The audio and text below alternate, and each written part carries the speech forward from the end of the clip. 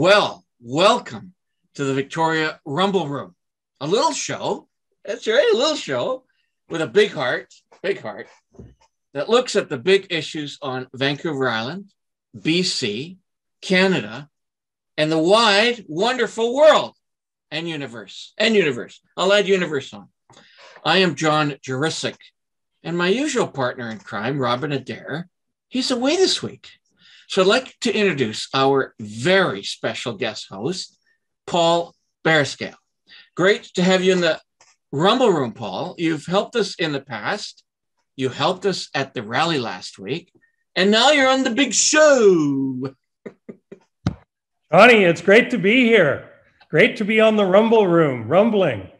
Um, a little background I've known Robin since the early 1970s, and we've stayed uh, close friends and comrades ever since specifically 1974. Woo-hoo. And uh, so uh, I've watched the progress of the Rumble Room with you and with Robin, and, and it's tremendous to see you guys involved in uh, local, provincial, and uh, uh, you know federal things that are that are going on.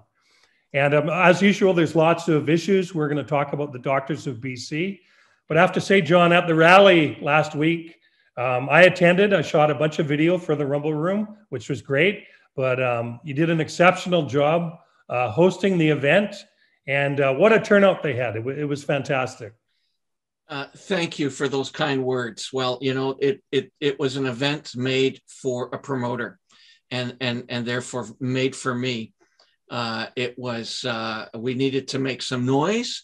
We needed to have the legislatures uh, legislators hear the voice of the doctors and the attendees at the rally, and um, and of course highlight uh, BC healthcare matters and and and the goal and the grassroots advocacy uh, that uh, that Camille Currie uh, has been uh, promoting and advocating for now several months. Um, you know, this is a big problem. A million British Columbians don't have a family doctor Paul, and this just isn't right. It's not acceptable. Camille Currie and her organization delivered 42,000 petitions to the legislature demanding that immediate action be taken to solve the doctor's shortage. We made as much noise as possible to try to deliver that message. There was no immediate reaction from government. Uh, Shirley Bond from the Liberal Party and Adam Olsen from the Greens certainly had some things to say. If there's one thing we agree about, you deserve a family doctor. Everyone in British Columbia deserves a family doctor. But I want you to know that while we may not be in that building, we hear your voices. I also asked the question why did it take so long to sit down and talk with the professionals about this problem? Right.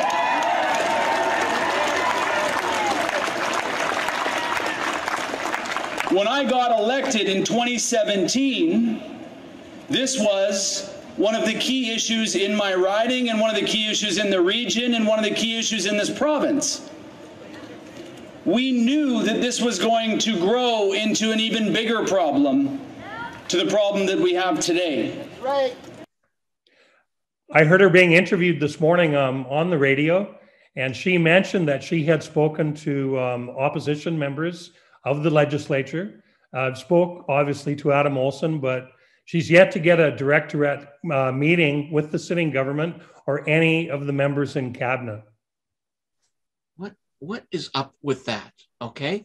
Anyway, that project continues, that project, that advocacy, Camille, that train continues to plow ahead, uh, demanding action to, to solve the doctor shortage in BC. Um, and I had a chance to catch up with Camille once the rally event was over. And here's what she had to say. Well, welcome, Camille. Uh, day after the big rally at the legislature. Oh my gosh what an amazing event. I, I just want to thank you uh, for all of your work putting together the doctors rally uh, yesterday as we as this pod as this vodcast starts to time itself That was May 19th. and uh, you had your rally, you delivered the petition, a petition with almost 42,000 signatures and uh, calling for something to be done about the one in five people going without a family doctor. Do you think that we were heard yesterday?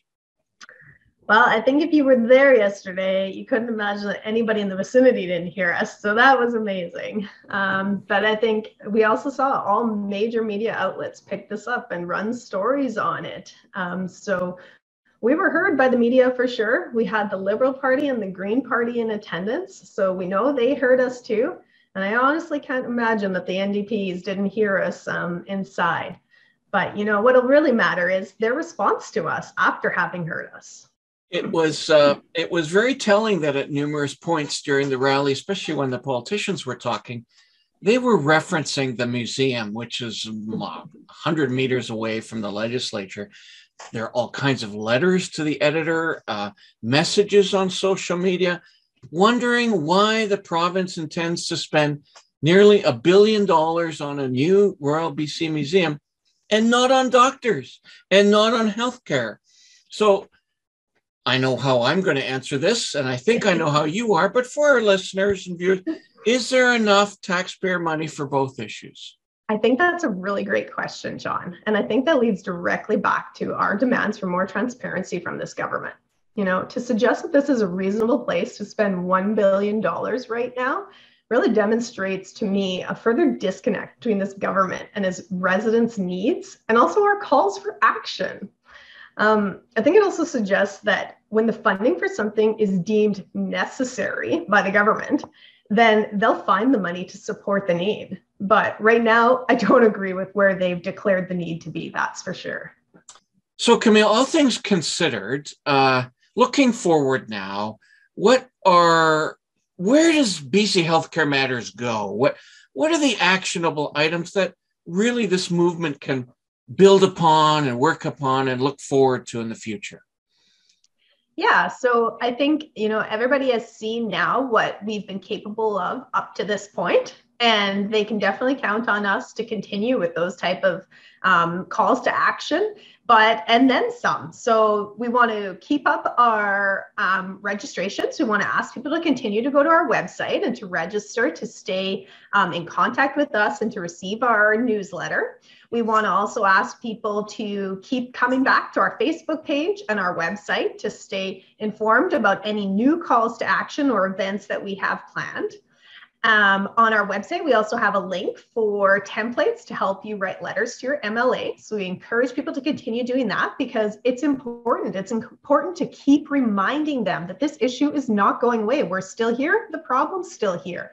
We want to demand transparency and immediate action from them. So you guys out there need to help us keep that pressure on all those MLAs.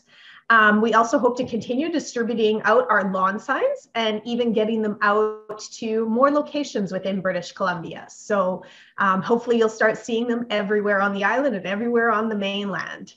Uh, we also want to ask people to keep sharing your stories. It's really important for us, for you to share your stories, whether it's on our Facebook page, through our contact us page, or even through our anonymous um, tips page, because we want to understand what citizens are continuing to go through. And then we'll use that messaging as well to continue to reinforce with the government that um, this isn't just about what the doctors want and need, this is about what your citizens are in need of um, and that we need action. And lastly, we're going to um, post about more volunteer opportunities that'll be coming up. So we, we're going to look to continue to expand our team. And to be able to do that, we need more people to join us. So we'll um, put up some posts on our website and on our Facebook page that'll help just kind of identify what kind of roles that we're looking to um, fill. And hopefully others will see that as an opportunity to join us and to join this incredible movement. Wow, that that was that was a great rally, and I just so much appreciated you being there, Paul, and and capturing um, some uh, video evidence of, of of what was an important advocacy moment in BC. You know, someone else who supports the call for more doctors is the mayor of Colwood, Rob Martin. He told us last weekend that he supports the province declaring the doctor shortage a state of emergency. Rob had a lot of other things to say as well about regional policing. Oh my gosh, that's uh, uh, looming its ugly head all the time. And of course, rapid development in the West Shore. He spoke to Robin Adair. I kind of forget who Robin Adair is already. oh, yeah. Who's he? No. Right? and myself earlier. So let's zoom him in. Well, now joining us in the Victoria Rumble Room, perhaps we should today call it the Victoria Rumble Room slash West Shore Rumble Room. Uh, for the first time this year is uh, Colwood Mayor Rob Martin. Great to have you here, Rob. Oh, I'm excited to talk to you guys today. Uh, thanks for having me. Oh, fantastic. You know, there's always a lot to talk about, but it does start to summarize itself into two to three key issues. So let's start with the one that's really heating up the airwaves these days the idea of a provincial police force to replace the RCMP.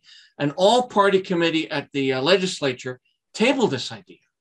Uh, Colwood has had the RCMP for a very long time. Do you think it's time for a provincial police and more regional policing? Well, uh, so first of all, Thank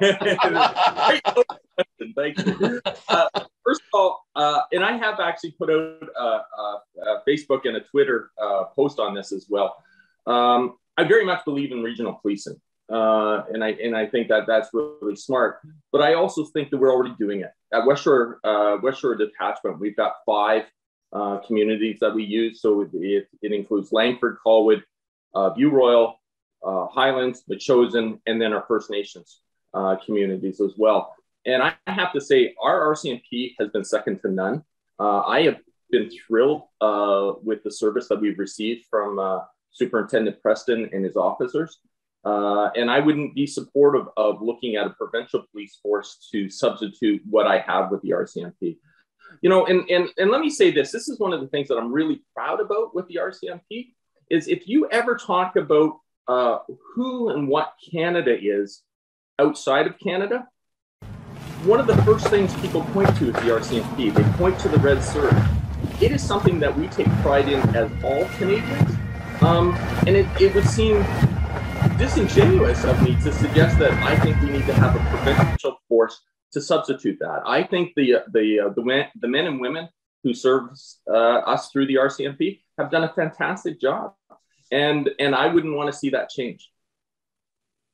So, as a follow up, thank you. That's a that thank you for that answer. There's been concern and expression from some uh, regional politicians that gang activity is growing on the West Shore, um, migrating out from downtown.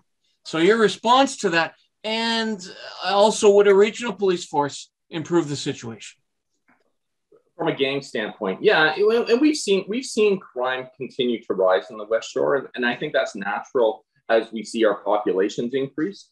Um, that that's going to that's going to be on top of that, and then you're going to see hopefully uh, our RCMP doing their jobs and and speaking within a region. Like I, I guess you know when I when I think of our policing, especially here in the core, um, you know Victoria, Saanich, uh, the West Shore RCMP, the Sidney RCMP, they're already working coordinated coordinatingly together.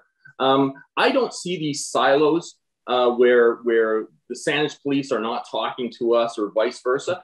And you know, and I'm I'm unfortunate because one of my counselors uh, that sits on Colwood Council is Council Jean, uh, Dean Jantzen. He's a sergeant with the Saanich Police, and mm-hmm. so I hear behind the scenes of the communication that happens between his department and what's happening with our West Shore detachment. And so I think those messages are really strong, and, and we're working together to make sure that that criminals can't just cross a line and then suddenly be safe. uh, and that that doesn't happen. I, I really sincerely don't believe that that happens. But we also, but I do appreciate that you brought up that that we have we are starting to see more organized crime, and we're starting to see you know drugs have a lot of money behind them thing, uh, behind that, and so that that comes back into your community. And so we need to stay on top of that. And that's why we need to continue to invest into our policing.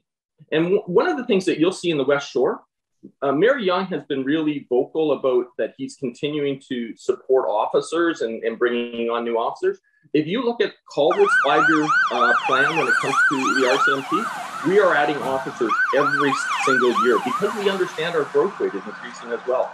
And so that we are continuing and will continue to invest into protective services. Our largest, um, our lift this year um, for, for Colwood was about four and a half percent. Majority of that lift was protective services. That mm-hmm. was us investing into police and investing into our fire departments. Um, so the, it's it's it's a priority. It's interesting. The West Shore and especially Colwood, we really have this value focused around family and, and making sure that we provide a community that, that families want to live in and want to feel safe in. And by doing that, we need to be investing into our, uh, our, our. And I think we do. Okay, there are lots of topics, as John um, suggested at the beginning of the interview. And another big one, of course, is housing. There's so much housing taking root in Colwood. There's uh, Royal Bay where the houses are going up so quickly and that development is growing exponentially. But there are concerns I've heard from people on the West Shore that some of the infrastructure isn't keeping up. It's still a single lane road. The highway that goes all the way out to Metchosin, single lane. There's that big parkway that comes out of Langford and heads down to Colwood and it stops at Latoria. It just stops and then you've got a single lane road again. And it seems to me that uh, that is a challenge. Would you agree that in some cases, at least, development's getting a bit ahead of some of the infrastructure to support it? I wouldn't say it's getting ahead, no. But what I would say is that we absolutely need to be investing more into our uh, transportation modes and how we're moving people. So eh, I'm so glad you, brought this up because I, I just yesterday, um, the city of Colwood, we had our transportation uh, committee meeting. And what we talked about was actually double laning Metchosin Road. So we're actually looking at uh, moving it from a single lane each way to a double lane each way. And then uh, basically, as you move down Metchosin Road, we would be looking at once you get past Wishart, tearing that down to three lanes. Um, so it would basically be a single lane each way and then a turning lane so that we're not slowing traffic down. And then, and then as you move into Royal Bay as well, if you look at VMP and Latoria, uh, Veterans Memorial Parkway and Latoria, we have a significant investment in a double roundabout that we're investing there. Um, and so that double roundabout is going to service not only Royal Bay and Royal Beach, but we have a significant development at Olympic View. Uh, in Olympic View, I think people need to understand Olympic View is a very large development that's going to be coming out right now. Um, it, it, it encompasses Olympic View Golf Course encompasses three municipalities. It encompasses Metchosin, Langford, and Colwood. Uh, most of the golf course itself is in Metchosin, but the land part that they are developing right now in Langford, they're looking at over a thousand uh, units. Uh, and in the Colwood side, right now they're approved for over 450.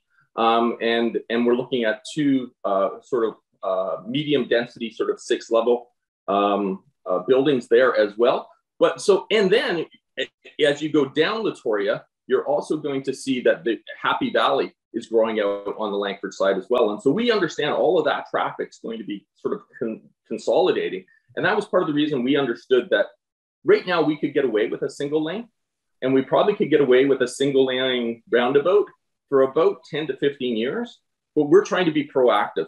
And so we're saying, listen, if we're going to be investing into this, let's invest into it now and let's build that infrastructure so it supports tomorrow's needs versus just trying to address today's needs.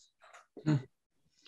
Um, how can we not continue on without you know chatting about affordable housing? It's the core issue for families for bit for everybody.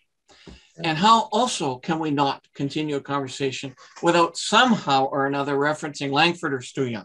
So langford's solution to affordable housing is to go up and up and up and up Numerous towers up to 24 stories in height have been approved or even higher, maybe. Is this a Colwood affordable housing solution as well? Yeah, I, I think it is. Um, and, you know, it, it's sad uh, that I've had to drift away from talking about the word affordable and really just start using the word attainable. Um, and because, you know, these products really are, uh, are, are, are, it's tough. I, if I can just use a, a brief example for you, it, talking about in Royal Bay, um, we have a single family home that three years ago sold for 800,000. The exact same home last month sold for 1.6 million. So that is that. So you know how you and that's the struggle that you have as a municipal government too is that you begin this vision of trying to build affordable, right? And so we had a vision of Royal Bay that we wanted to build single family homes, and that price point was about six hundred thousand dollars, and we thought that's a great price point to bring families and to support that. And then what happens is, even though you attempt to do that at the beginning, it becomes a desirable product and you see that escalation in price. And so the only way that we can continue to provide attainable housing for families is to begin to provide different types of products. So that can be duplexes, townhomes, um, and then really even as you get into like a four story building. And I think you're going to start seeing that, especially in Royal Bay, that as we begin to build out Latoria South, I think there's going to be a lot more pressure um, to looking at those types of products versus the single family home. Makes a lot of sense. Uh, again, this is sort of housing related. Certainly, it folds into everything else we're talking about. David Eby, housing minister, has talked about being unhappy about how slow some municipalities, at least, are moving in terms of approving housing developments. And he's saying the province may need to step in take over the mechanism, cut out the municipalities, and approve these buildings more rapidly so that they get built because we have such a huge housing shortage, not just low cost housing, but housing in general. Uh, do you think this is necessary? Is it necessary in Colwood? Is it necessary in the province? Uh, it's absolutely not necessary in Colwood. However, I do understand why uh, Minister Eby is doing it. Um, and and it's, it's a real struggle from a politician standpoint because what happens is, is as a community leader, you get elected onto a council. And that council, uh, the, the, the, excuse me, the residents who've elected you have an expectation that you're going to represent them. And so if you ever try and build something like a six story building anywhere within a community, the reaction you will normally get from the neighborhood is we love the idea, just not beside us we don't want that. We want it somewhere else. And so what happens is when you go to a public hearing on anything around density, you will have a room full of people who don't support it because people don't come out to support projects. They come out to say, I'm not happy with that project, project. And so what happens is the only voice you ever hear is we, we, we appreciate that you need to build density, but don't build it here find somewhere else within the community to build that density. And so what happens is if you don't have leaders sitting at your council table who have the vision for how you build your community out 10 years from now, 20 years from now, and if you are only building the community to support today's voter, you're not going to build anything because because what you, the voices what you're going to hear is don't build it, don't build it here. And and and I can give you example after example after example for the city of Colwood, where where we have tried to build four, five, six story buildings, and the neighborhood comes out around it not supportive of that concept. And I'm not sure why. I really struggle with it at times because you know I, I jokingly say, when did we stop liking people? because nobody seems to want to have like there's I, there's a real misperception I believe on number one who and what a renter is I think uh, I think for some reason people believe that renters are negative and that they're not going to take care of the community and they they don't contribute back to the community, which I don't buy into at all. I think I think you know the products that we have right now have really priced so many people out of this market, and so if we don't provide rentals, where are we putting all these people that need homes? Johnny, that was um, some good points that the mayor raised there. Uh, one of the things that um, he didn't talk about was um, the West Shore is so fast growing. And um, if you look at the population growth in the capital regional district in the past few years, it's Langford, it's Colwood, and Metchosin, and even Sooke. And, um, you know, we need uh, people to be able to get around on the island. and um, with the talk of a, you know, the easements and the railroad that are here on Vancouver Island, wouldn't it be great if it also included a commuter train where people could park, hop the train in Langford, and get to downtown Victoria. Those rail lines are there. Um, we just need a concerted effort from um, obviously the officials here, but the provincial, it's always the provincial and federal government. People have to come to the table. But, um, you know, people continue to come to Vancouver Island, they continue to come to Victoria.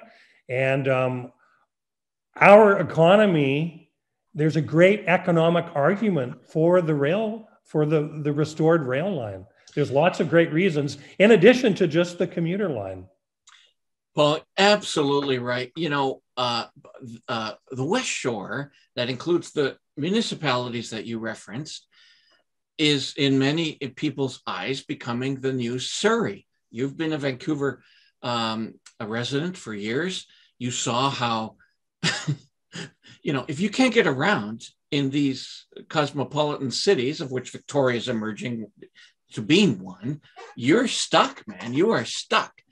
And so the Island Corridor Foundation, that's a group that uh, is actually trying to solve this with a, a rail based solution, has just released a detailed business case to upgrade the entire 290 kilometer system. Foundation Chair Larry Stevenson says the restored line will cost 431 million bucks and the detailed plan has now been delivered to the provincial and federal governments. You know what? To learn more, let's zoom in Larry Stevenson. Now joining us in the Victoria Rumble Room uh, for the first time this year is actually Larry Stevenson, the CEO of the Island Corridor Foundation. Uh, Larry, great to have you back on the program. Hey guys, great to be here. Good to see you both. And, and uh, last time, uh, you presented a pretty compelling case for the return of the E&N Railway to Vancouver Island. It would include in, at least in initial plans that you talked about, uh, commuter rail service from the Western communities into downtown Victoria. And now you say you have a business plan that can be a game changer. Why? Well, I mean, it, what the what the business case does is it really kind of formalizes all the thoughts around the things that we've been talking about for a very long time. And you know, you mentioned the service delivery. Well, the business case outlines a service delivery that does have interregional trains. They're going to operate twice a day from Courtenay to Victoria. They're not going to run in the wrong direction at the wrong time, as apparently they did in the past. Uh, it's going to have a it's going to have a commuter system that will operate in the Langford Victoria corridor during peak hours. You know, at least to start. Uh, it's also going to offer freight service. That's going to you know it's going to it's going to really focus its efforts on the ports, but it's going to be all over the island. And then of course we'll have excursion trains. So it's all outlined in the business case, uh, and we're excited to be presenting it because it's really kind of the first step in, in making this kind of official with the government. The total cost, when you look at it, it's about $380 million for construction and another $50 million for equipment. And that's a little higher than what we've talked about in the past. I think when I was here last time, we were talking about 350 or 360 million. But of course, inflation has come in. Is the revenue projection there? Uh, will, will is it going to be affordable for people to jump on this train? Oh, absolutely. You know, I think one of the things that is unique about this particular system versus others that you see is we do have four very different types of operations that we're mixing into the revenue here. You know, if you look at how the business case is laid out, the revenue that's generated in the busiest part of the system, which is Langford, is probably lower than the rest of the revenue on the rest of the island. You know, the freight service, you know, it, it provides a huge opportunity for us to make this not just a break even proposition, but a profitable one. I think that's easily attainable over the next few years. So yeah, it's it's very affordable. It's affordable, and yet you know people always are measuring: Do we need a train again? People like to drive their cars. There's other talks of other forms of rapid transit, with uh, even a even a ferry that's been fostered by Colwood that would go across the harbor. And people say, is it is the expense worth all of this effort uh, in, in, a day and age where we have sky high gas prices and we have no doctors and we have all these other problems in the world? Is there really money for an E&N railway? Well, certainly, I think you you have to look at this on a long term basis. I would make the argument that we need it today. And you know, when you look at the things that have happened to us, I think the last time I was on your program, we were right around the time of the, the big weather event. You know, where the Malahat was blocked for a number of days. We couldn't get people in and out. We couldn't move goods in and out. I think that was a bit of a wake up call. It was a wake up call for us. It was a wake up call for the province. You know, I think they openly have admitted that there's not a lot of options available. The train brings that. You know, then when you start looking at things like the government's own studies are saying that it's it's going to take two and a half hours to get from Mill Bay to Victoria by 2038. That's it. That should be a very scary proposition for all of us. You know, Any of us that travel up and down the island highway, you know, we're, we're limited to that highway. Traveling through Duncan on a Thursday night, like, oh my goodness, you know, Yeah, it, exactly. it's it's it's getting worse all over the island. And you know, the growth rates that we have out there, they're not going to slow down any. When you start looking at things like um, 41% of the greenhouse gases on, on in BC come from road transportation. You know, we need to start taking steps and we need to start doing things today to make sure that we're here for tomorrow. There's another big issue, um, Mm-hmm. one that's impacting all sorts of mega projects these days in our region. That being the uh, potential disputed lands where the rails Sure. operate. There are First Nation lands claims. Uh, you've talked about First Nation support for this project. What has to happen with the Indigenous community to make this project possible?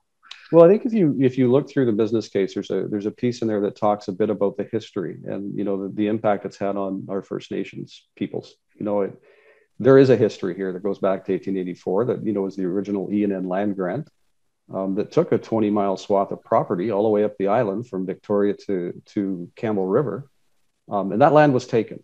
And you know the nations have for many years, you know, going back to the the 40s and 50s, have been trying to resolve the issue that hey, that land grant resulted in them losing some of their territorial land. That has to be dealt with, and you know it's our view that that has to be dealt with as a prerequisite of getting this railroad up and running. I mean, today that land grant exists, you know, at least in, in terms of the corridor, it's 100 miles wide, goes Mhm. from Victoria all the way to to Courtenay. Mhm. It was 20 miles when it was taken, so it has to be dealt with, and you know our partners you know they've made that very clear that this is this is kind of the, the, the thing that we're going to have to address and you know we're fully supportive of that Now, you've uh, mentioned that uh, federal and provincial officials that you've dealt with, uh, they were unwilling to move forward much without a business plan. Now you have a business plan. Uh, are you expecting any kind of a speedy response? And if you're a betting man, are you betting this is really going to push this project forward and we'll actually see it happen? well i think there's going to be a couple of things you know I, I don't think that this is necessarily the button that gets pushed that makes it all happen what it does do though is it gives us a point of commonality from which we can start those discussions with the provincial government with the federal government it's a lot of money. It's 431 million dollars and somebody has to come to the table with that money. So does that push it? I don't think so. You know the fact that we now have a timeline in front of us that was given to us by a court that says that by march of next year we have to make a decision um, Mhm. i think those conversations are going to have to happen and they're going to have to happen now. Oh, Johnny, before we wrap up, I just wanted to talk about, um, you know, some of the larger issues of what's happened in downtown Victoria. We noticed that the crime rate was going down a little bit, but now we notice that it's going up again. Um, this is with, I think the young people have been gathering downtown and uh, they've been copying behaviors that they see from, you know, from other rallies. And also, I live in James Bay, right near Beacon Hill Park. Yeah. And um, if you go back two years ago and one year ago, you saw what happened with campers in Beacon Hill Park.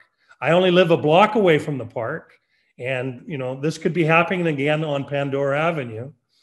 And uh, what happens is, you know, the homeless need help, but the problem, the situation can get out of hand so quickly.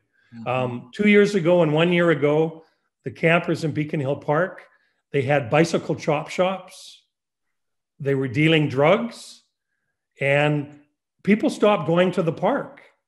And I, when I think about it, the elderly people, obviously, who are here in Victoria, they were afraid to go into Beacon Hill Park. And uh, so we're keeping an eye on that. So kudos to the city. I think they're monitoring the situation pretty good. But we see the situation, these things can change very quickly. Tents are popping up on Pandora Avenue, uh, kind of as it was three years ago, if you think. There were tents outside City Hall, now on Pandora Avenue. So, um, you know, that situation has to be monitored. monitored. The other thing that we noticed, and I guess this has been going on for a long time, along Douglas Street, right near the park, we notice a lot of um, RVs and uh, boondockers. They'll come and stay for seven to 10 days and then they leave. You know, they're not going, and I could see this, they're not going to an RV park. They're not paying any rental fees. So what do they do? They come down to Beacon Hill Park. Sometimes they're tourists from across Canada, and we love to see the tourists back in our fair city. But um, it just takes, uh, you know, a few extras to go over the line. And before you know it, you have a situation that can can get out of control, John. Paul, outstanding observations. And, and as you know, crime and safety in downtown Victoria and its sort of peripheral neighborhoods is becoming increasingly a problem and doesn't seem to be solving itself with any kind of uh, policy direction from City Hall. I would love to hear updates from you as you live there uh, as we get closer to the election in November. But you know, for today, that's about it for you and I. Uh, and man, have I enjoyed co hosting with you. What are we going to do if we enjoy this more than Robin Adair? well, maybe I can be uh, an, an, ongoing correspondent and uh, and uh, you know report from James Bay and and give you an update from another part of the city. Oh man, that's going to be so fun! And boy, is it great to tease Robin. Um, but anyway, thank you very much, and uh, and and thanks for for uh, thanks for your commentary. Thanks for your help at the rally. Uh, for those folks that want to continue to watch the John and Paul show, uh, please remember to uh, watch us uh, watch the Rumble Room on uh, on Facebook, on uh, Twitter, certainly on YouTube. we have a news group that allows others to contribute and and post their opinions. That's Victoria Rumble Room News and Views. We have an Instagram page. We have a TikTok page, and uh, and just uh, as an aside to to um, to stop our teasing, Robin Adair will be back next week. He will be well rested. And Paul, this is where you get to say see ya. Johnny, it's been great being on the Rumble Room. And uh, to Robin and to yourself, thank you for the invitation, for letting me co host and rumble on. Absolutely. We're going to see a whole lot more of you, Paul. I am John Jurisic. I'm referred in many different ways, often the Croatian sensation, sometimes the mayor of North Tulip, but now the promoter at the ledge of the BC doctors uh, shortage. Rumble on!